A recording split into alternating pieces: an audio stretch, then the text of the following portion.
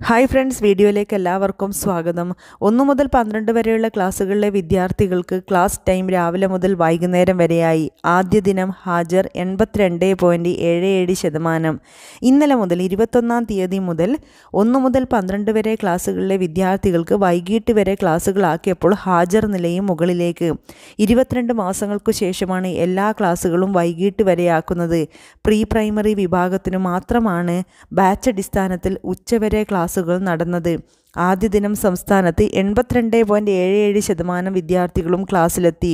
L P U P ഹൈസ്കൂളുകളിൽ എൺപത് point രണ്ട് മൂന്ന് ശതമാനവും ഹയർ സെക്കൻഡറിയിൽ എൺപത്തി രണ്ട് പോയിന്റ് ഒന്ന് എട്ട് ശതമാനവും വൊക്കേഷണൽ ഹയർ സെക്കൻഡറിയിൽ എൺപത്തി അഞ്ച് പോയിന്റ് ഒന്ന് ഒമ്പത് ഒന്ന് ശതമാനം പേരും ഹാജരായി.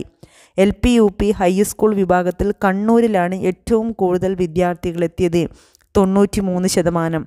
പത്തനംതിട്ടയിലാണ് ഏറ്റവും കുറവ് അൺ അൻപത്തി ഒന്ന് പോയിന്റ് ഒൻപത് fifty one point nine percentage എന്തായാലും സ്കൂൾ ടൈം രാവിലെ മുതൽ വൈകുന്നേരം വരെയായി കുട്ടികളും രക്ഷിതാക്കളും എല്ലാം ഈ ഒരു പുതിയ മാറ്റത്തോട് അല്ലെങ്കിൽ ഒരു പുതിയ തുടക്കത്തോട് മാനസികപരമായി അഡ്ജസ്റ്റ് ചെയ്ത് കഴിഞ്ഞു അംഗീകരിച്ചു കഴിഞ്ഞു. അതിന്റെ ഒരു തെളിവാണ് ഹാജർ നിലയിലുള്ള ഒരു വർധനവ്.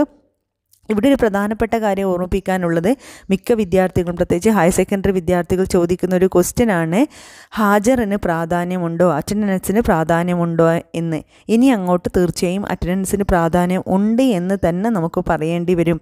അതിന്റെ ഒരു തെളിവാണ് വ്യക്തമായി ഇത്തരത്തിലുള്ള ഡാറ്റകളൊക്കെ പുറത്തേക്ക് വന്നു കാണുന്നത്.